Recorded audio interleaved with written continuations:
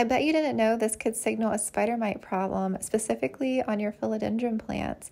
These little dots are called extrafloral nectaries.